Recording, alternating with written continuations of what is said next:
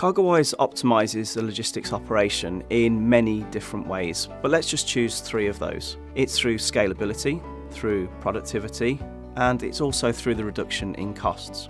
Taking productivity, this can be gained through having a greater throughput with the same amount of resources because of the end-to-end visibility and only entering data once into the application. Reduction in cost comes in through not having multiple applications on multiple servers or even the staff that have to maintain those servers.